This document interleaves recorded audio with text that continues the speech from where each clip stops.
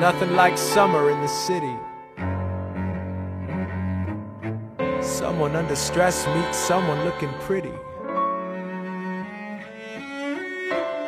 There's trouble in the air, you can smell it. And Alexander's by himself. I'll let him tell it. I hadn't slept in a week, I was weak, I was awake. You've never seen a bastard orphan more in need of a break.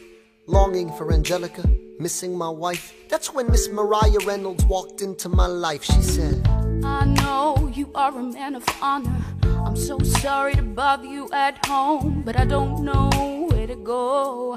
And I came here all alone. She said, My husband's doing me wrong, beating me, cheating me, mistreating me. Suddenly he's up and gone. I don't have the means to go on. So I offered her a loan, I offered to walk her home. She said, You're too kind, sir. I gave her 30 bucks that I had socked away. She lived a block away, she said. This one's mine, sir. Then I said, Well, I should head back home. She turned red, she led me to a bed, let her legs spread and said, Stay.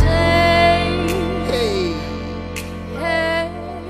That's when I began to pray, Lord, show me how to say no I don't know how to say no to this. But my God, she looks so helpless.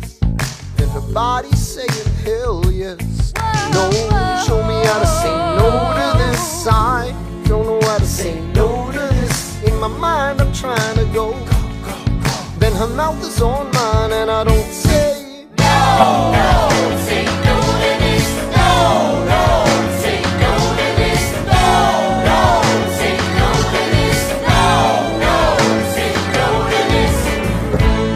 wish I could say that was the last time I said that last time, it became a pastime A month into this endeavor I received a letter from a Mr. James Reynolds Even better, it said Dear sir, I hope this letter finds you in good health and in a prosperous enough position to put wealth in the pockets of people like me down on their luck. You see, that was my wife you decided to.